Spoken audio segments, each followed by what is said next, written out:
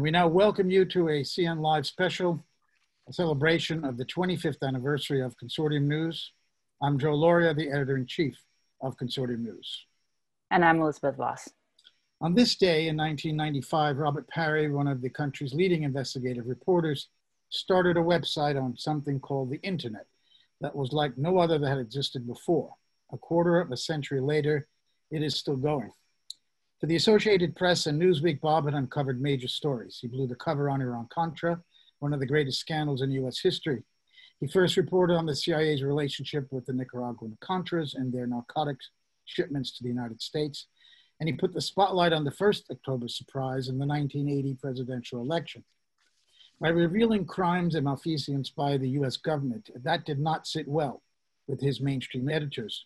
They tried spiking his stories. They set up absurd demands, like asking Oliver North to confess, and at one point told him to stop asking too many questions for the good of the country. After working on an October surprise documentary for PBS's Frontline, Bob left establishment journalism behind so that he could simply do his job unhindered. He found a like minded consortium of journalists whose stories had also been suppressed to begin Consortium News. It started on paper as a newsletter mailed to subscribers' homes, but on November 15, 1995, 25 years ago today, Bob launched the world's first independent news site. He beat Salon.com online by five days and established outlets like the New York Times, the Washington Post, and the Wall Street Journal by several weeks. More importantly, though, Bob Parry was at the forefront of alternative online news that questioned establishment narratives and Washington conventional wisdom. He covered stories the mainstream media wouldn't and took angles on stories that were being ignored. With virtually no staff, besides the help of his sons and longtime assistant Chelsea Gilmore, Bob built a following and enough readers to fund the operation. Thousands came to depend on Bob's take on the news. A TV presenter once told Joe that he would wait to see what Bob had written that day before deciding what his show should be about. While Consortium News has never come close to being mass media, its audience attracted influential people in Washington and elsewhere. Bob wrote, quote, the point of Consortium News, which I founded in 1995, was to use the new medium of the modern internet to allow the old principles of journalism to have a new home, i.e., a place to pursue important facts and give everyone a fair shake. But he added, more and more, I would encounter policymakers, activists, and yes, journalists who cared less about a careful evaluation of the facts and logic and more about achieving a preordained geopolitical result. And this loss of objective standards reached deeply into the most prestigious halls of American media. This perversion of principles, twisting information to fit a desired conclusion, he went on, became the modus vivendi of American politics and journalism. And those of us who insisted on defending the journalistic principles of skepticism and even handedness were increasingly shunned by our colleagues, a hostility that first emerged on the right and among neoconservatives, but eventually sucked in the progressive world as well everything became information warfare. Bob continued to break stories about the Reagan era into the 1990s, including the existence of a secret perception management program run by the CIA from within the White House. With the 2003 invasion of Iraq, Consortium News became the home of the Veteran Intelligence Professionals for Sanity, a consortium of former intel officers who exposed the faulty intelligence leading to the war. Like honest reporters just trying to do their jobs, Bob said, there were also honest intelligence officers trying to do the same. Bob wrote that Republicans started this downward trend in politics and in journalism by first weaponizing information to delegitimize their opponents. He wrote, quote, rather than accept the reality of Nixon's guilt, many Republicans simply built up their capability to wage informational warfare. He continued, the idea had developed that the way to defeat your political opponent was not just to make a better argument or rouse popular support, or to dredge up some crime that could be pinned on him or her. Soon the Democrats will be using the same tactics, he wrote. The trend of using journalism as just another front in no holds barred political warfare continued with Democrats and liberals adapting to the successful techniques pioneered mostly by Republicans. Thus, Bob, in just trying to do his job as a reporter, became increasingly critical of the Democrats too. He wrote groundbreaking stories on the Obama administration's wars in Syria and Libya, and especially on the US engineered coup in Ukraine. He was especially fierce about Democrats who lost their skepticism and embraced the intelligence agencies. He wrote, quote, ironically, many liberals who cut their teeth on skepticism about the Cold War and the bogus justifications for the Vietnam War now insist that we must all accept whatever the US intelligence community feeds us, even if we're told to accept the assertions on faith. Perhaps Consortium News and Bob's biggest story in 25 years was being in the forefront of skepticism on the now thoroughly debunked Russiagate story, which was taken on faith from unnamed intelligence sources. Bob also defended Julian Assange as early as 2010 against government designs to arrest and imprison him, which did not please many Democrats, especially after the 2016 election. For taking an independent stand based on where the facts led him, Bob upset both Republican and Democratic partisans. That's because he left a legacy of strict, nonpartisan journalism, really the only kind of journalism that there is, which this site has endeavored to continue. It led to personal attacks on Bob from Republicans and Democrats, oblivious to the fact he was critiquing their political enemies too. The attacks on this site for the same reasons have continued. So joining us today to help celebrate Bob Parry's and Consortium News' 25 years of achievement are Diane Duston, Bob's wife who lived through it all, filmmaker and journalist John Pilger, Ray McGovern, a former CIA analyst, a close associate of Bob and an important contributor to the website, Nat Parry, one of Bob's sons who made major contributions to the development of the site, Spence Oliver, one of Bob's anonymous sources on the Iran-Contra story, and Gareth Porter, a longtime contributor to Consortium News. To start the program, we will hear from a supporter and friend of Consortium News and to Bob, film director Oliver Stone. And we'll have Oliver chat about Consortium News with his co-author of The Untold History of the United States American University historian Peter Kuznick. Oliver and Peter, welcome. Oliver, before we drill down to the questions, um, why don't you just briefly say how you met Bob and how you first got introduced to Consortium News? Yeah, I met him at your dinner party, Peter, when we were we hadn't started Untold History. It was just as a guest, and uh, he, uh, we talked about what was going on in Washington in the '90s, which seems like such ancient history now. Uh, but I got to know Bob basically through Consortium News because I started to read it, and the stories were. I, I heard of him in with Newsweek, and I knew Maynard Parker, who was his boss. He criticized Maynard Parker, among others, at Newsweek for being chicken and not going with his stories. And I know those people. I know I, I, I sense what kind of propriety exists around them, and I so I know where this Washington sense of you don't cross this line, and I was I felt that my whole life and all my work. It's it's gotten worse. Uh, as you know, I went through the JFK case, and it's impossible sometimes to argue with these people. Bob, uh, we never I never discussed JFK with him, but it was clear that he was on to something with this Iran Contra because we were talking to some of the same people, and uh, it's a dirty, dirty story. It went deeper than ever got out, and Bob knew that, and uh, I mean, obviously, it seems to me that Reagan was impeachable for treason at that point.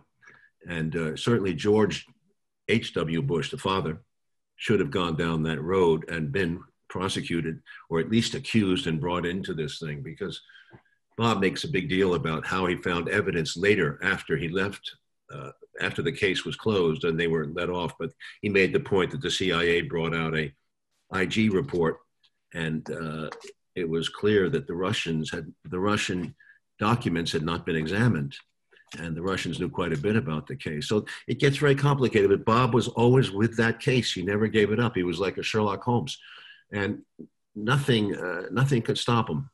I admired that tenacity, and that's when I got involved with him, uh, and I contributed to the organization. Continued to love this, uh, love the writers for this consortium news he started something that should continue in the tradition of, from my, from what my knowledge is of I.F. Stone, I'd say early in the 50s. And although I was a conservative, I certainly read some of his stuff and was shocked. And later, Drew Pearson and Jack Anderson, who that you may criticize them for certain things, but they did a hell of a job of waking me up. Uh, and we need those journalists. Without them, John Pilger, who's sitting here today, is another one. We need these people to wake to go in to go in, and people don't do that, and it's stunning to me that It's, well, I guess I have to understand why it's scary. I mean, we know a lot of investigative reporters who who do get lost, uh, who really get lost. I mean, I know a guy, uh, and I respect him, Tom O'Neill. Some people say he's crazy, but he's been going after the Manson case since the 1980s, 90s, and he's still he's still in there. It's a rabbit hole, and that happens. Bob, thank God, got out of the rabbit hole, and as angry as he was, he was he he never gave up insisting that he had uh, the truth. And I like, even he went back to Iran Contra as late as a few weeks before he died. Well, you started with talking about Bob's work in Central America and exposing what was happening with the Contras and the drug running.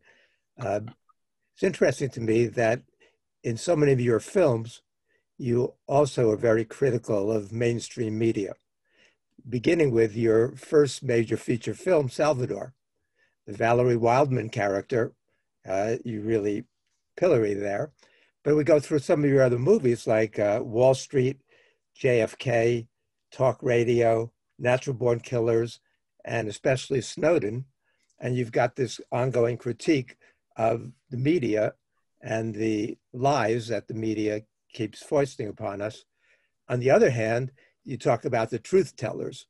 And you and I both consider Bob in the tradition of the truth tellers.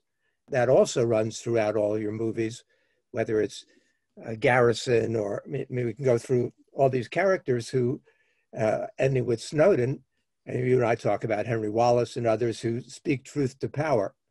Uh, and but and it's interesting to me that you began that critique of the mainstream media uh, before uh, JFK came out, because you got attacked viciously for JFK, but you were going after these folks as early as Salvador and movies uh, before uh, JFK came out, also to some extent in Born on the Fourth of July. So, uh, how do you see Bob in that tradition of truth tellers, people who stand up to the, the, power establishment uh, and and are willing to risk and actually pay a huge price often, as you did for uh, speaking truth to power? That's a big question. I mean, Bob was at the forefront. He's one one of the best. I would consider him right up there with you know with Pearson, as I said, Stone, Anderson. I mean, he sacrificed a lot. He was never into the money. He, never was into the position. When I met him in Washington, he was quite he was quite content to have a subscription service supporting his work and his a base of people who read his stuff. There was no bigger ambition than to tell the truth, is what I think of Bob. And in that regard, he's you have to respect him enormously. He's he's a treasure. He was a national treasure. Uh, the uh, bear in mind that I was against the establishment with Salvador. What I saw in Central America, uh, in those countries, was I felt very strongly that Ronald Reagan was intending to go into Nicaragua and actually get rid of them. I mean, destabilize the place completely, try to, but if necessary, send troops. Because I saw a lot of troops in Honduras and in Salvador that were devoting themselves to the Honduras, to the Nicaragua situation. So it was clear that I thought that we were into another early Vietnam. It felt like it just felt like it. The best thing that ever happened for that cause, of course, was the crash. The CIA, as usual, screwed up screwed up in a big way because this fellow, the contractor who got shot down over Nicaragua, spilled the beans that he was working for the CIA. And that was somehow, that snap, that was enough. And Bob covered that case too. And uh, the, the thing unraveled, and Reagan's last two years from 88 to, uh, from 86 to 88, uh, were lame and he couldn't get things, he couldn't get legislation through. Very important that that happened. So truth tellers do work, even if they don't understand their their their position in the big picture. Certainly, uh, we know that case is so crucial now. I mean, what's going on with uh, not only Snowden but more importantly, Assange. Assange is at the key of this all this mess that's been going on for two years. It seems to me, and he's never been allowed to really. He doesn't want to talk or whatever. I don't know the details. Like maybe John Pilger could tell us, but he knows things that are invaluable about this, and I'm surprised that one or more candidates hasn't taken advantage of it by seeking to pardon him, but that would cause a furor. I understand, but it's an interesting, crucial case. I wish Bob were around to explain it in great detail like he would. I'm not anti-media. I was anti-establishment. And then when I did the JFK case, I did it out of anti, very strong feelings that we had been, he'd been assassinated for political purposes, and he was a very dangerous man to them because he would be reelected. And after him came Bobby, and after him possibly Teddy. It was a dynasty in the making. It was serious. They had to end this thing. When that came out, that that is what brought the press down on me. It was not before that. They were they were not attacking me. Yeah, Salvador they ignored, but still it got out. And then the other films did well. Wall Street was respected, so was Born on the Fourth of July. But then, uh, and the Doors too. But then uh, JFK was the end of that honeymoon, whatever the the parole that I had. Uh, it never changed after 1992. It was really ugly, and I was always discounted as a uh, as a uh, as a, a, lone nut. you know, I know what that feels like. Uh, but thank God, people like you and many others uh, have supported me uh, all the way down to Snowden, which was my last film. Uh, Oliver, um, Bob spent much of the last five years of his life exposing the demonization of Russia and Putin, talking about Russophobia and Russiagate and the a different perspective on what happened in Ukraine. Uh, and, and he saw that as so crucial. Um, you've also been very much involved in that. Uh, you got attacked again for your four part interview with Putin. One of the things that Bob understood was the importance of seeing how the world looks, explain how the world looks through the eyes of our adversaries, uh, which you've made an attempt to do also. Uh, but now, you know, beginning in January 2018, Secretary of Defense Mattis said that international terrorism is no longer the main threat to American national security. It's Russia and China. Uh, I was hearing on the television today, Fareed Zakaria talking again about Ru- Russia's effort to uh, uh, discredit American democracy. That's what they're trying to do to sow seeds of dissent in America. Um, talk about a little bit about Russia and what and how that played such an important part in your thinking in recent years. Well, first of all, I just want to say Bob got it right away. He saw the Nazi, the neo-Nazi uh, influence in Ukraine and he filled in the history of Ukraine back to World War II, which is you have to go there. You have to understand the tensions in Ukrainian society that came came out in 2014. And it's heartbreaking story. It's a heartbreaking story because I've never seen the new. It feels it feels like 1946 Cold War again. It's just the Russians never did anything good in their life. They they they don't, they don't even talk about the space shuttle anymore, but nothing. Uh, in, and I'm talking mainstream, like New York Times to me has completely lost its credibility.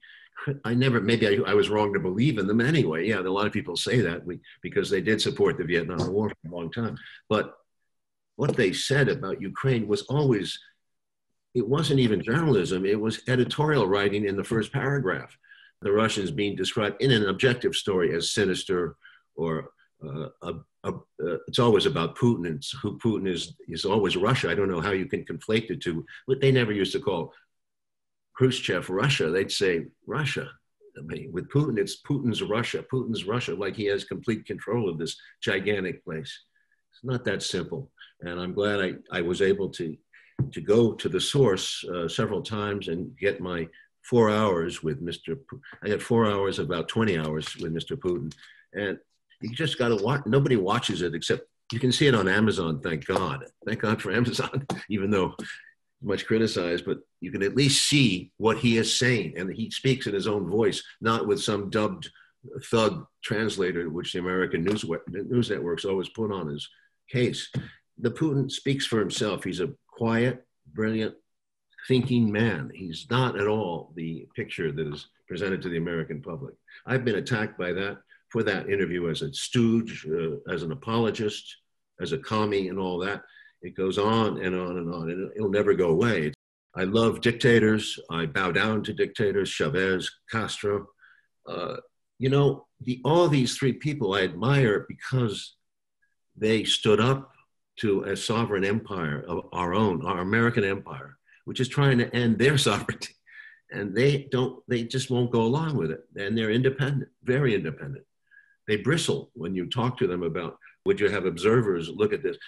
Because they feel the observers will never be straight. They're, they're going to be crooked. But it's just, the reason I admire them is they were rebels and they, and they, and they're all strong men. And Castro was perhaps one of the strongest men I've ever met in my life. Chavez was too. You have it's a lonely road to travel, and some of you know that road. And uh, I guess I've always rooted for the underdog as a movie maker, and like, and that's what the movies used to be. They used to be the underdog, right? The guy you never expected would come through. Nat Parry wrote, I'll quote, ultimately, Bob was motivated by a concern over the future of life on Earth. As someone who grew up at the height of the Cold War, he understood the dangers of allowing tensions and hysteria to spiral out of control, especially in a world such as ours, with enough nuclear weapons to wipe out all life on the planet many times over.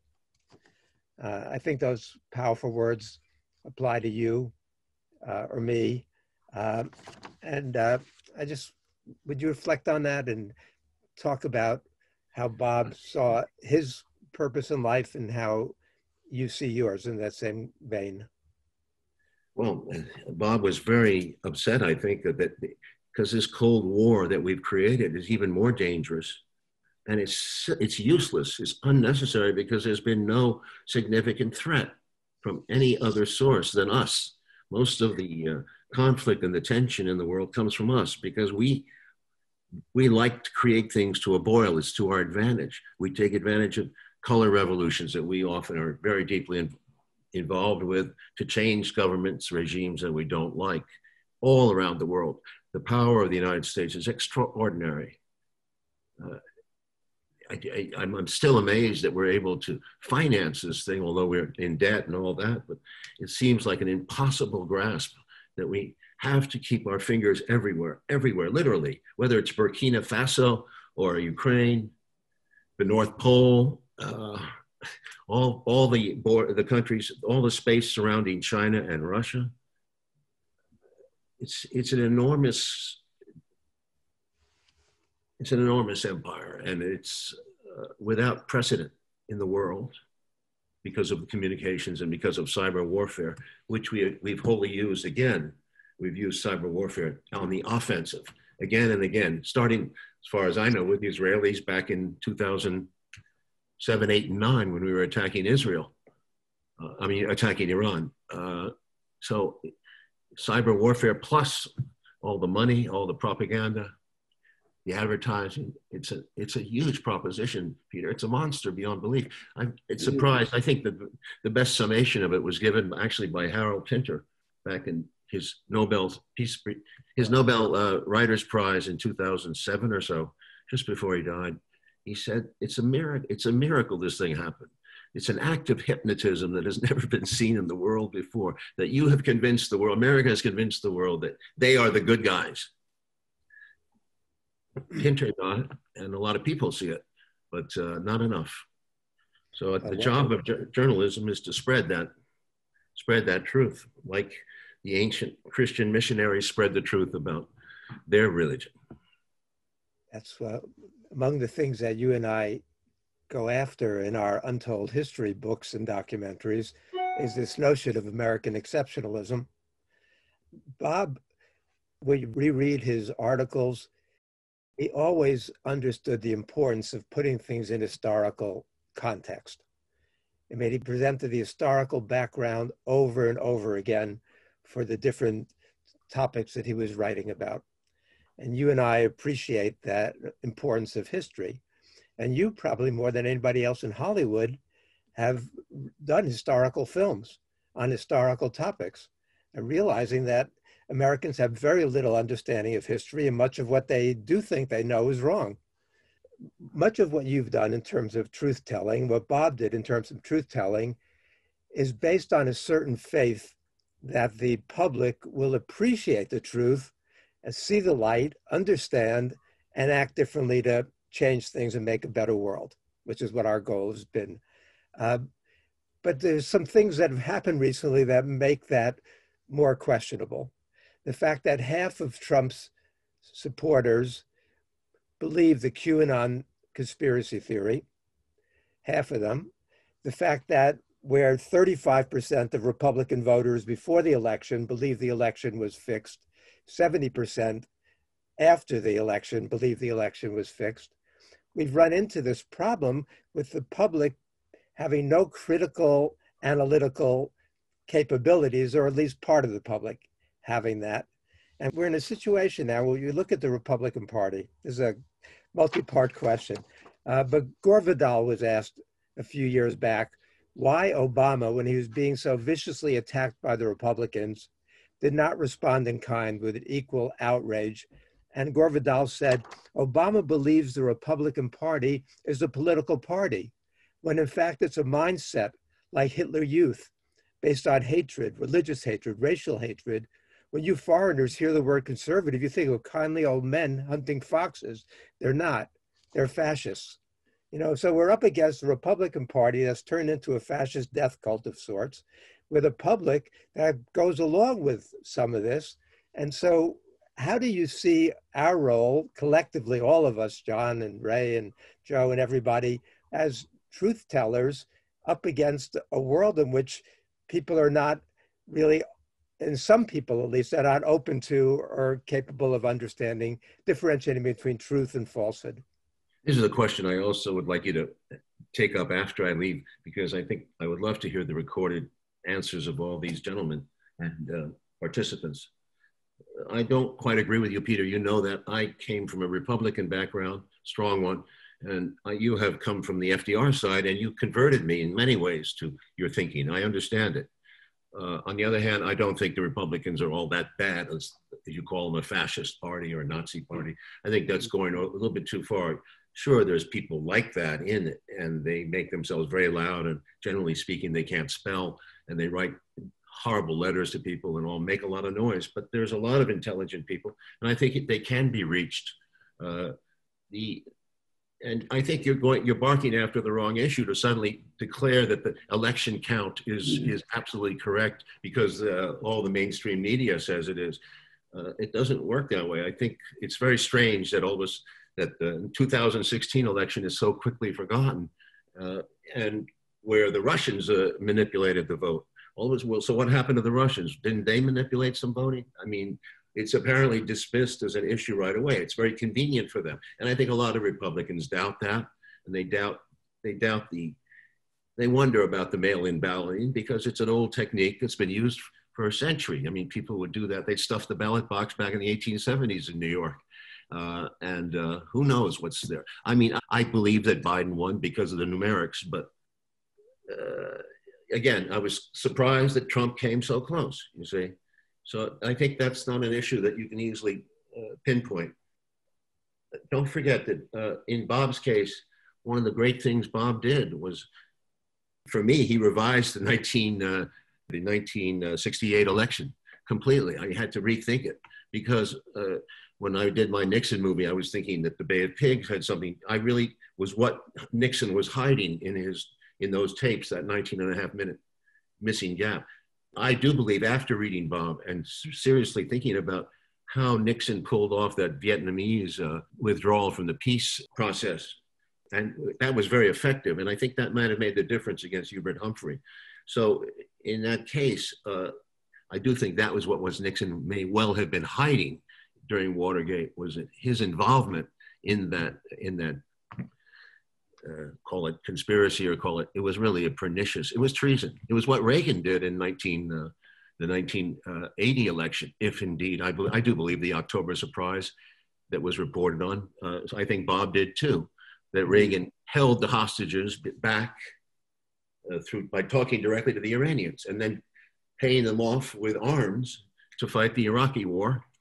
And the Iranians paying him in cash, of half of which he gave to the Contras. So I, I, think there's a dirty deal around the 1980 election and the 1968 election. I think our country has been back and forth. I think the 2000 election was stolen. I do.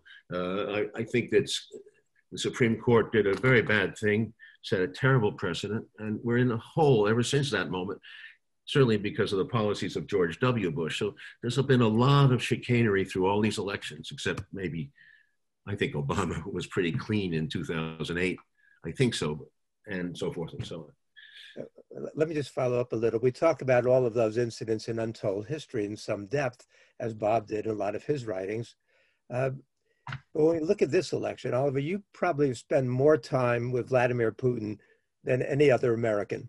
Yeah. Uh, and you know, we look at this election, and there's been very little discussion about Russian interference. There's a lot of warning in the beginning that was going to happen. Then there's been nothing about yeah, that recently. Correct. And and I, but I saw opportunities where if Putin really wanted to help Trump, he could have done so. He could have accepted American terms on the New START treaty which Putin rejected. And that would have given Trump his ability to brag about a big foreign policy victory. He could have supported Trump when it came to Hunter Biden, but he mm-hmm. didn't. He contradicted Trump on Hunter Biden. I mean, I just look at the fact that I was on mainstream Russian television a couple times a day for the past several weeks during the election, and they knew that I was so strongly anti-Trump uh, and accepting of Biden, even though he's not my kind of guy. But um, so, how do you see Russia positioning itself now in terms of the United States and the possibility of a Biden presidency or the reality of a Biden presidency and, and the kind of tense world we have in which US Russian relations are at a very, very dangerous point now with the hands of the doomsday clock at 100 seconds before midnight? You know, I will simply, I know I'm a, I'm a, I'm a, I'm a, the, what do they call it? The idiot uh, clown or whatever they, the useful idiot. What? Uh, what do they call it? Useful. I know I'm a useful idiot, but I will repeat what Mr. Putin said in his interview very, very clearly, time and again. And I asked him time and again. It is not in Russia's interest to to go into the American presidential election. First of all, it, they, it would be a disaster if something were found out, and it would be a, a major issue, which it, it didn't become, thank God, but almost. But he said we don't our, our, our problem with the United States, we try to deal with every president, but Democrat or Republican, we, we're willing to negotiate. And, but we have a problem. There's a system in America that is heavier than any president. And whether it's Obama in the White House or Trump or Bush or Clinton, it doesn't matter to the Russians at this point. They see where the, the, the they see the writing on the wall, as they say. And Clinton who had no beef with Russia, suddenly he loves Yeltsin, and of course, he helps him. He, he helps him fraudulently to, to win that election in '96. But uh, even Clinton, I mean, it doesn't make a difference. So they have to deal with. They know the United States is hostile. They know there's now they have 13 NATO countries around the in the proximity to the to Russia against them and probably and who knows what's coming up in Belarus, who knows what's going to happen in Ukraine. It's not easy, but they're on their guard and they keep, for a very little amount of money, they build a huge nuclear force that is equivalent to our trillion dollar, uh, our trillion dollar effort every year if you prepare for war. The Russians have a what, $60 billion budget? I mean, think about, uh, they're very smart and thank God, because if if not, there'd be even more problems. If we could run over them, as we think some people think, we'd really be in the, into a hot spot. I think I, I would never underestimate the Russians. I never, never, never. They're strong against the Nazis. They were strong against the French, and they're going to be strong against anybody trying to to to take over or to beat them or to take something from them. And I think we're very lucky that Mr. Putin is a very sensible man and he listens. And at the same time, he's not hot headed enough to get upset that he's been called a thug by this guy, uh, Mr. Biden, the new, the latest uh, man to trash Russia. Every, I guess he thinks I, every American president has to trash us. He once said to me, you know, I, I probably sound outrageous, but we feel like Jews in World War II. Always Russia. Yeah, you would think that Biden is making such an effort to reach out to the Republicans who have been so vicious toward him he could make an effort to reach out to Putin now and try to have a real reset and uh, ease some of these problems. And work together on some of the problems that confront us. Yeah, he's offered again and again. Listen, I do have to run now, but please sound. I'd love to get the rest of this tape when, it's. I'd love to see what my the, the We'll we'll make it available to you, uh, Oliver. Thank you so much. We, Thank I'm sure Joe. everyone else has a question for you, but you don't have time. If like John Pilger Thank- wanted to ask you something. Thank you, John. Thank you, All right. Ray. I Thank you, Oliver. Good. and Gareth. I'm going to And uh, listen. never forget a lone nut is a badge of honor. Thank you. Thank you. They've Okay. traveled. Bye.